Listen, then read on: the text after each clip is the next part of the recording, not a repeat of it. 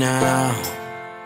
Take a step outside and seize the day now. Hey all and welcome to Lawn Buddy University. Today we're going to be going over our subscription feature. So over in the left hand column under finances, you're gonna notice a new uh, tab called subscriptions. When you click on that, you are headed to the subscription page. And this is our test account, so these names are a bit funky.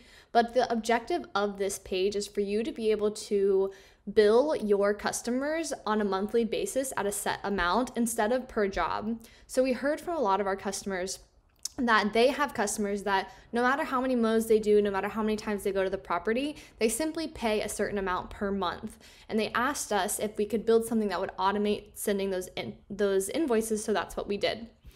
So we're just going to start by clicking the plus button next to the word subscriptions, selecting a customer. So let's just go ahead and select George. Create subscription. And all we need to do is fill this out. So we're going to enter in the name so we'll just have George's monthly bill. Uh, if I choose to include the past due amount, that just means if there's um, maybe a couple months go by and George hasn't paid his monthly subscription, this will include all of the amounts, all of the um, amount that he owes me if I have this box selected. But for now, we're not going to do that. Let's just say that George George's subscription is $200 a month. And then I can choose when I want to send it. Do I want these invoices to go out the 1st, or the 15th, or the last day of the month?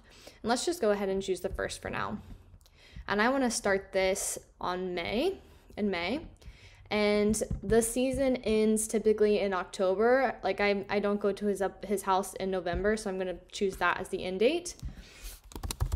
This is for mowing and general landscaping.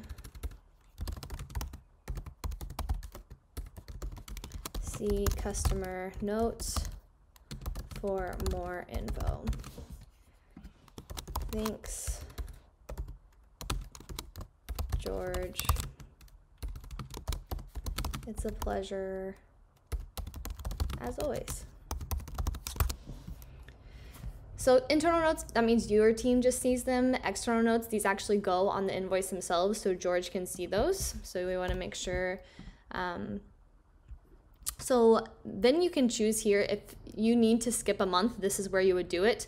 Since you're setting this up to start on the first, you probably don't want to skip it on the first. But say George's, you know, doesn't want you to come out for one month because he can't afford it or something, then you can just come in here and select skip next invoice.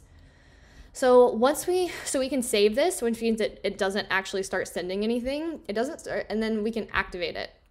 And once we activate it, we have it right here, George monthly bill, and we can deactivate it if we want, or we can delete it. We can also go in and change the amount if we want. Actually, say, you know, we made a mistake. We actually want it to be 250.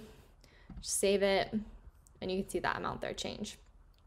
So now George um, Brett will be getting monthly emails and text messages that have those subscription invoices in them.